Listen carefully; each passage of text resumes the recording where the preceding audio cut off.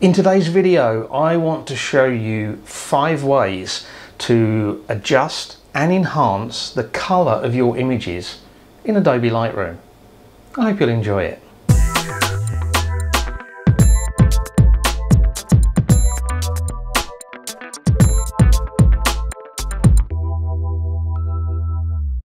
Hi everyone, thank you for joining me. So this is a Lightroom tips, tricks, tutorials kind of video. Uh, and if you're new to the channel, I should say that I do these kind of videos occasionally. Even more occasionally, I do you know, gear related videos. Uh, but most of the time what I do is landscape photography out in the field. Now, if you like that kind of thing, why not hit subscribe before you go and make sure you don't miss any more of the stuff that I put out. If you enjoy this one, of course, as well.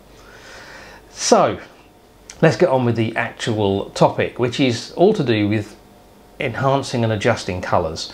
And I do almost all of my colour work, in fact pretty much all of my colour work, in Adobe Lightroom. I don't tend to use Photoshop for colour adjustments. Uh, I tend to just use Photoshop for things that require layer masking or you know, manipulation of things within an image that you can't do in Lightroom and uh, I thought I'd share with you the five different ways that I use, some more than others, to adapt, adjust and enhance colours in my images. Uh, now, as I said, this is Adobe Lightroom and uh, I'm sure that other software packages enable you to do very similar kinds of adjustments, but it may well look a bit different to what I'm going to show you. Uh, and I will also say that I'm basing all of this on shooting in RAW. I'm sure you can make some of these adjustments to JPEG files if you so choose, but you will probably sacrifice some quality in the process. So if you're not already shooting RAW, maybe now is a good time to start.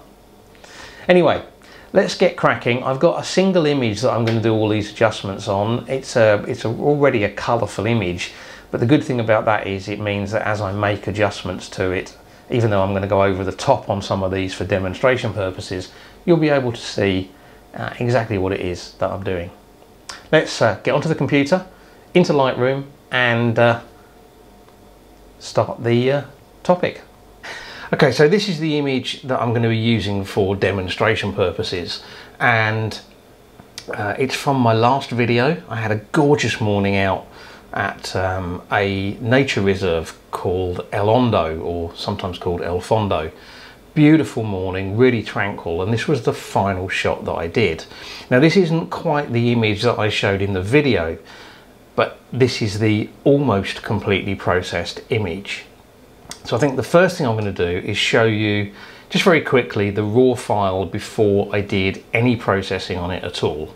So I'm just going to hit the backslash key and you can see now it says up here before and the image is pretty dark with some you know some real strong contrasts in there um, now I did actually shoot some other shots of this uh, you know to bracket exposures this was shot uh, exposing for the highlights uh, and I did shoot some more exposed for the midtones and the shadows in case I wanted to exposure merge it. But look at the histogram. The histogram has got only the tiniest bit of clipped shadows there, which isn't a problem, um, and no blown highlights. So I knew when I saw that that I should be able to recover all of the detail I wanted from a single exposure. So now we'll hit backslash again to go back to the uh, partially processed image.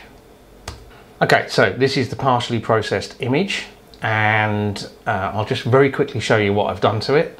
Uh, lens corrections, removed chromatic aberration, enabled the profile corrections. Uh, I went into transform and just clicked auto upright and that just helped to straighten up a few of these uh, verticals here. And then I cropped it just a little bit because I thought it looks a little bit better like that and then in the basics tab I've lifted the exposure by just over a stop about one and a sixth stops I've lifted the shadows and obviously I've done both of those things to get more detail in the dark areas. I've pulled the highlights all the way back to get all of that detail in the sky. Uh, white and black point just to put a little bit of contrast back in and then the vibrance quite a lot and saturation just a touch and that's all I've done to this image to get to where we are now. And now we're ready to talk about the, the five different ways to adjust and enhance colour in Adobe Lightroom. And the first one is white balance. Okay, so white balance sits here in the basics section. And basically you have color temperature and color tint. Color temperature goes blue to yellow and tint goes green to magenta. Now this is as shot. My camera is always set on, uh, I think it's called direct sunlight, which uh, gives me this nicely balanced 5500 uh, Kelvin, I assume it is, uh, temperature and a neutral tint. And I always like that as my starting point.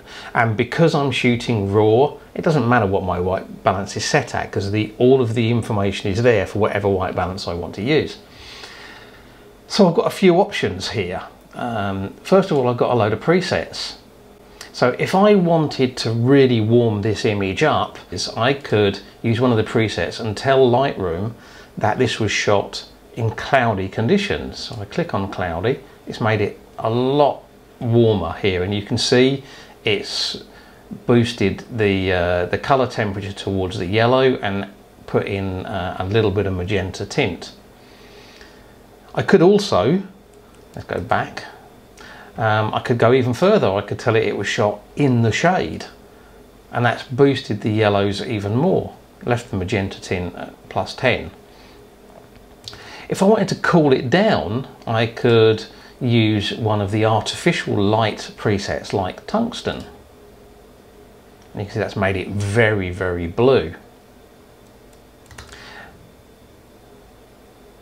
Of course, I could also use the auto white balance. Now, I don't like auto white balance either in the camera or in Lightroom because it looks at the whole scene and tries to balance it. And that's often not an accurate representation of what you were seeing particularly at sunrise and sunset and particularly shooting towards the sunrise or sunset.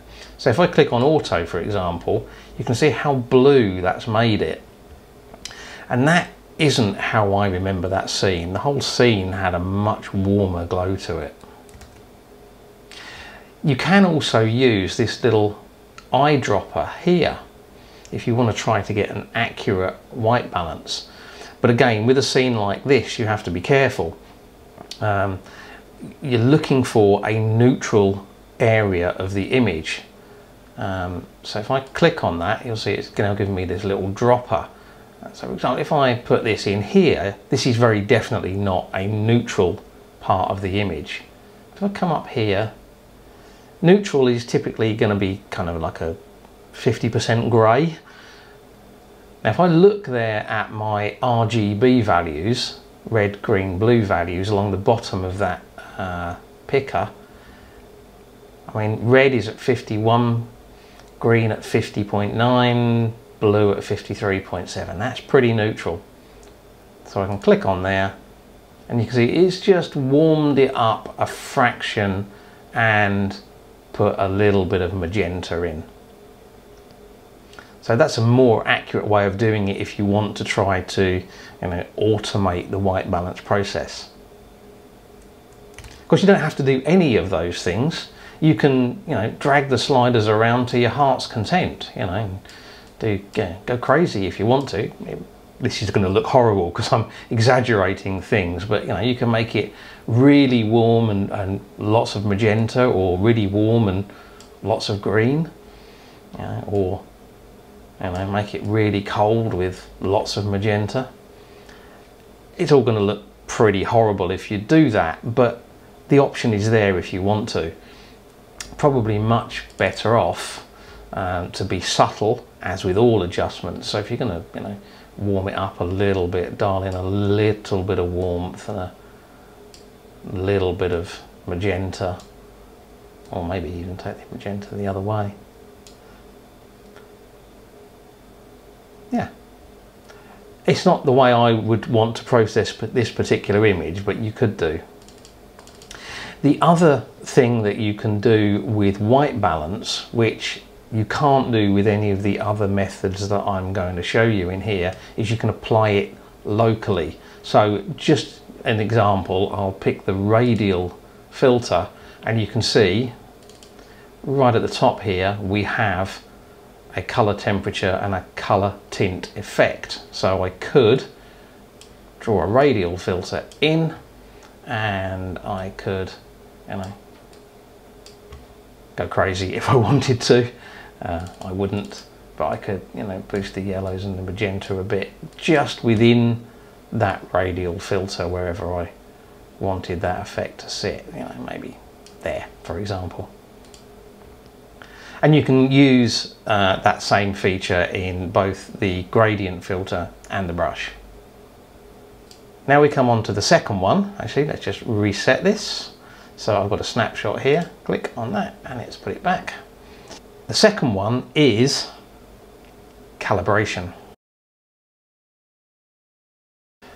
So calibration uh, is here. I should just say actually that uh, the order of these different adjustments here in uh, Lightroom is um, this is tailored to my personal taste so if you've just got Lightroom or your version of Lightroom might be in a different order to this but if we look at calibration we've got here the option to affect the color tint in the shadows area We've also got the option to affect the hue and the saturation in the red primary channel the green primary channel and the blue primary channel.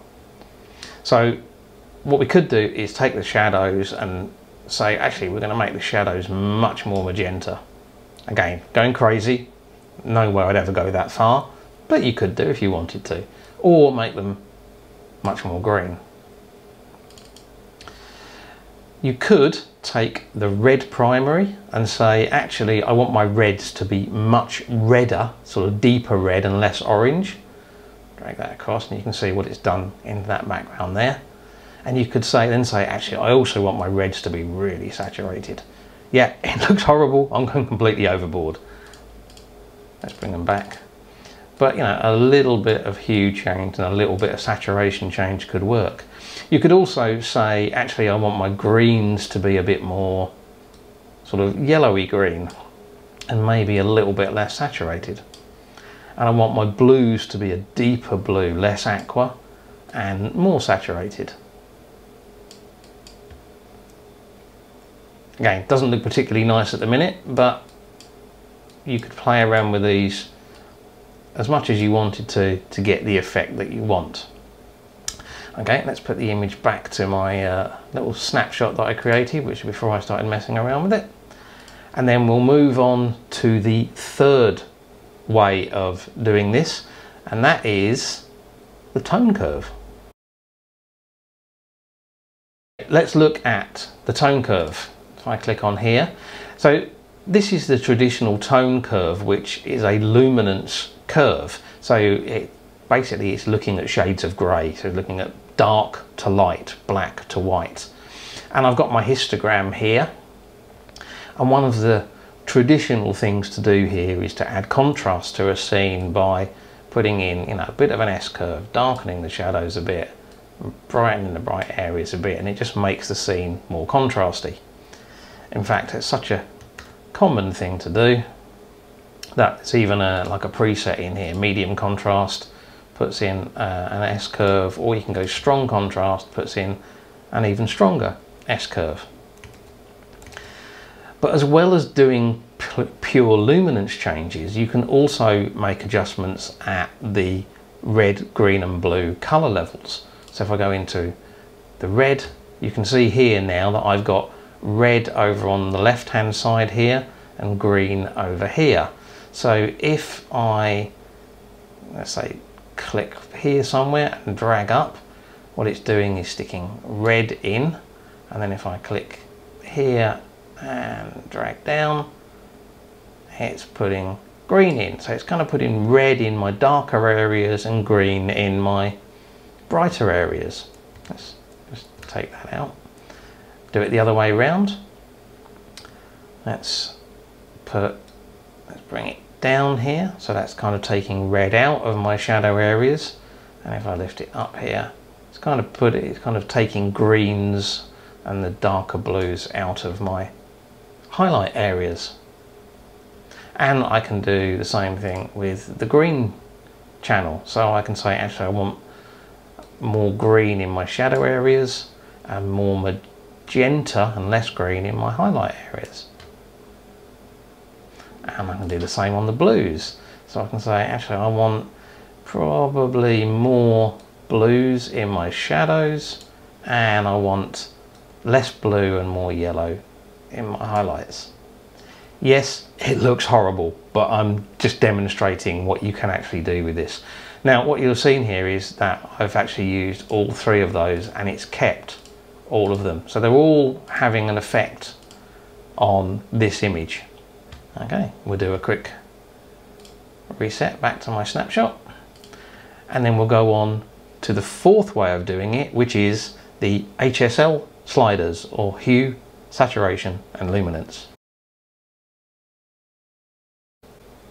Okay, so here they are, HSL, and it says here hue, saturation and luminance. And what this is doing is actually giving us a lot more divisions to work with. So I've got red, orange, yellow, green, aqua, blue, purple and magenta.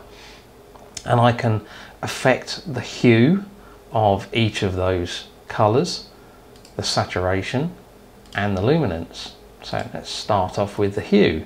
Let's say I want to make, I've got quite a lot of sort of orange here. Let's say I want to make my oranges a bit more red. I can pull them back. And I can make my yellows maybe a bit more orange. Uh, I can make my blue, my aquas a bit more blue, my blues a bit deeper blue. Again, going over the top here.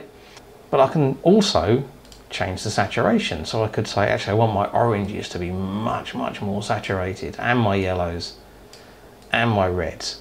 Again, going overboard here.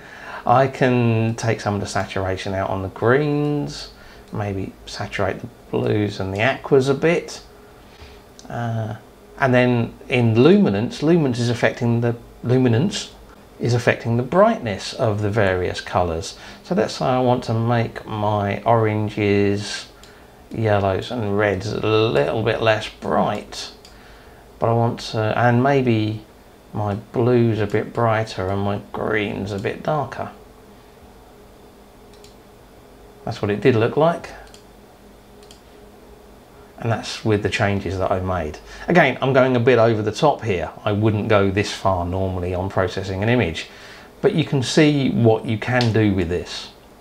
Just with uh, some of the others, you can click on a little sample tool here, click on a part of the image and, you know, say drag up and it will adjust the sliders for you I drag down it will adjust the sliders the other way for the specific tones that you've selected. Now one thing I'm going to say about the hue, saturation and luminance sliders is you need to be careful not to go too far with them. Um, in fact that's true of any colour adjustment. Uh, subtlety is best. I generally have a rule that I'll never push any of these sliders more than about 30 um, because that's when you can start to get unpleasant effects. You maybe start to get highlighting around areas of, uh, not highlighting, uh, haloing around areas of uh, high contrast. So if you're going to use these, you know, subtlety pays, but then subtlety pays in all of these things. and reset. And we come on to the final one. And the final one is split toning. Now what split toning allows you to do is adjust the hue and saturation of the highlights and the shadows and adjust the balance between the two. So I have a hue slider which goes from red, sort of goes across you know, orange, yellow, into the blues, and all the way across. Now, if you hold down the Alt key, that would be the Option key on the PC, and drag and click on that slider, it actually shows you, if like, the 100% saturation version, so it lets you see the color that you're going to be putting in. So it goes all the way from really strong red, you see it go more orange, yellow, greens, and goes into the blues, magentas, and basically all the way back pretty much to red again. And you can do the same thing with the hue, with the uh, shadows slider. If you hold down the Alt or Alt key, Option key on a PC, and drag it, you can see the color. So what you can do is, if you want to, you can hold down the, the Alt or Option key and just sort of find the color that you think you want to add into the highlights.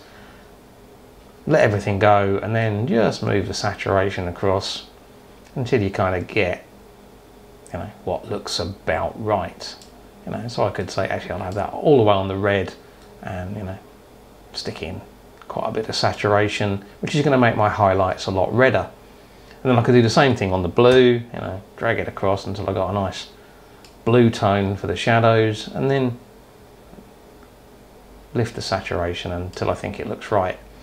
Again I'm overdoing it in this particular example. This image does not need that level of color adjustment. So let's put everything back and then I'll show you the other way to do this, which is the way that I actually prefer. Next to highlights, there's a little box. Click on it. Now, along the bottom of this box here, we have the, uh, the hue, and up the sides, we have the um, saturation. So if I click here and drag up, I'm going to be adding saturation. Can see if you watch the saturation there it says now it says 23% uh, and it says zero which is red. If I sort of drag across and go up, watch the hue changing, going more into the oranges and yellows and the saturation going up. Then if I come back down again, watch the saturation go down. So you can kind of, you know, you can move this around to your heart's content in here and just see what kind of an effect it has.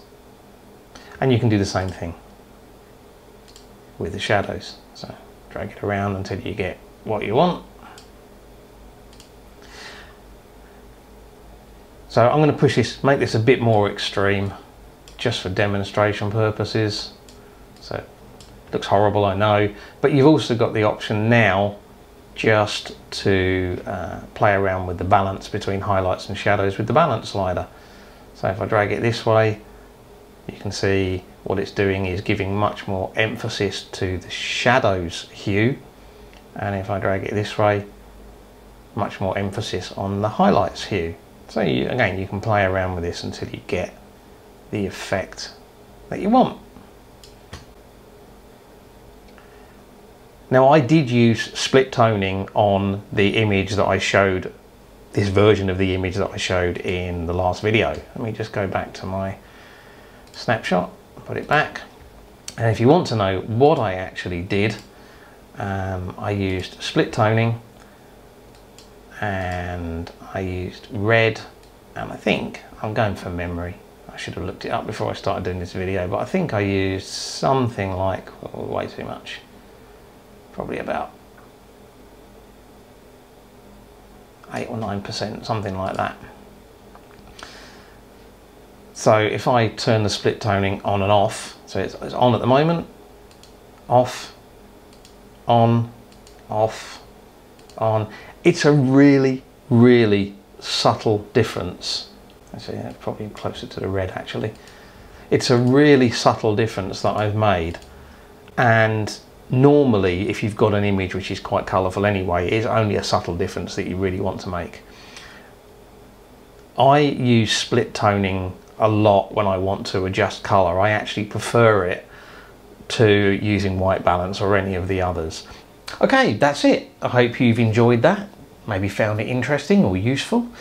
If you have, you know the routine. Give it a like, share it on social media, leave me a comment. I just want to say a big thank you to everybody that has subscribed to my channel. I didn't make a big song and dance about it, but a week or so ago, the channel actually tipped over the 2000 subscriber mark, which is fantastic. And I, I really appreciate everybody that has hit that subscribe button and uh, especially those people who've helped to promote the channel by you know sharing it and doing all the other bits and pieces that I ask you to do. So thank you very much and uh, if you're not already a subscriber maybe you can uh, add to my subscriber count right now. Hit subscribe. As always I really appreciate you taking the time to watch so thank you very much and until the next video bye